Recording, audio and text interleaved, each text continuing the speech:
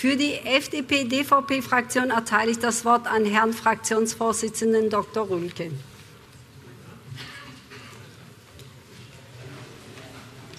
Frau Präsidentin, liebe Kolleginnen und Kollegen! Die FDP-Fraktion hat Defizite im Rettungsdienst in dieser Legislaturperiode schon öfter thematisiert, ohne nachhaltigen Erfolg. Das öffentliche Interesse hat sich jetzt deutlich verstärkt durch Recherchen des SWR. Wir wollen deutlich machen, wie sehr wir das Engagement des Ehrenamtes schätzen in diesem Zusammenhang. Und wir bedauern, dass die Thematisierung einmal durch uns und dann auch in der Folge durch den SWR vielleicht bei manchen Ehrenamtlichen in diesem Bereich als Angriff auf das Ehrenamt wahrgenommen werden könnte. Es ist völlig klar, dass dies nicht der Fall ist. Aber Faktum ist, dass wir uns außerordentlich schwer getan haben, zunächst mal Daten zum Thema Rettungsdienst zu bekommen. Das Innenministerium hat sie wie viele andere Informationen lieber für sich behalten. Aber nach mehrmaligem Nachfragen haben wir dann doch herausgefunden, wie sich die Rettungsdienstzeiten in Baden-Württemberg in der Realität abbilden. Das Soll ist, dass in 95 Prozent der Fälle der Krankenwagen bzw. Notarzt in zehn Minuten spätestens aber in 15 Minuten am Einsatzort sein soll. Das ist des Jahres 2016 war 72 Prozent in 10 Minuten und knapp 95 Prozent in 15 Minuten. Bei den Notärzten war es so, dass 63 Prozent in 10 Minuten vor Ort waren und circa 90 Prozent in 15 Minuten. Die Notärzte selbst stellen immer wieder klar, dass die Zeiten hier zu lange sind. Es besteht also Handlungsbedarf in Baden-Württemberg. Vor allem sind strukturell etwa 20 Prozent der Bevölkerung in Randlagen unterversorgt, weil der Rettungswagen eben später als in 15 Minuten vor Ort ist. Die Gründe sind vielfältig. Zum einen hören wir seit Jahren, dass ganze Schichten wegen Unterbesetzung ausfallen.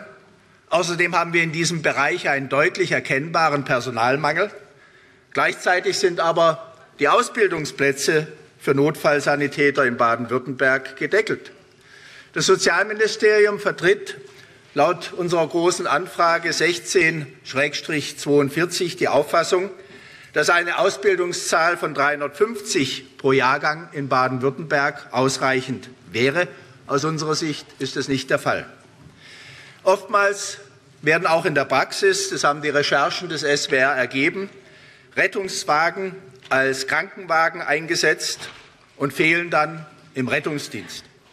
Außerdem gibt es an manchen Bereichen veraltete Bereichspläne, die eben von der Rechtsaufsicht zu lasch kontrolliert werden. Diese Landesregierung weiß seit Jahren um die Probleme des Rettungsdienstes. Und das Rettungsdienstgesetz weist auch den Behörden, konkret etwa dem Innenministerium oder auch den Landratsämtern, die Kontrollfunktion zu, die sie zu wenig wahrnehmen, meine Damen und Herren. Wir sehen also nicht bloß bei den Informationen gegenüber dem Parlament, sondern auch in der Rechtsaufsichtspraxis seit Jahren eine Verweigerung des Innenministeriums, die Menschenleben in Baden-Württemberg kosten kann. Was ist also zu tun? Die Landesregierung muss ihre Aufsichtsrechte nun endlich wahrnehmen. Wir brauchen in unterversorgten Gebieten auch weitere Leistungsträger, die dort eingesetzt werden können. Das der Paragraph 2 des Rettungsdienstgesetzes lässt dieses zu. Und offensichtlich, oder vielleicht werden wir das auch in der heutigen Debatte hören, gibt es ja mittlerweile auch ein Umdenken im Innenministerium.